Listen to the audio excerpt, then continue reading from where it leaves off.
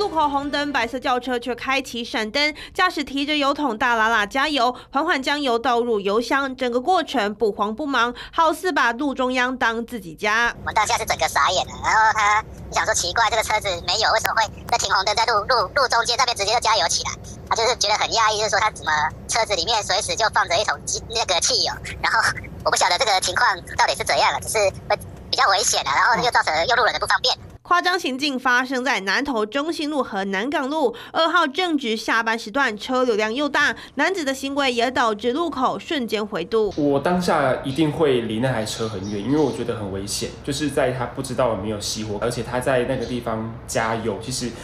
很容易会产生会有爆炸的这件事情。如果说他在那边发生了意外的话，其实我觉得后面的车子一定会被波及到。民众惊呼傻眼又危险，男子简直时间管理大师。但停等红灯在大马路中央加油，其实已经违反交通规则。没有有在停在道路中中间的加油的话，还是违反道路交通规则五十六条，妨碍他车通行。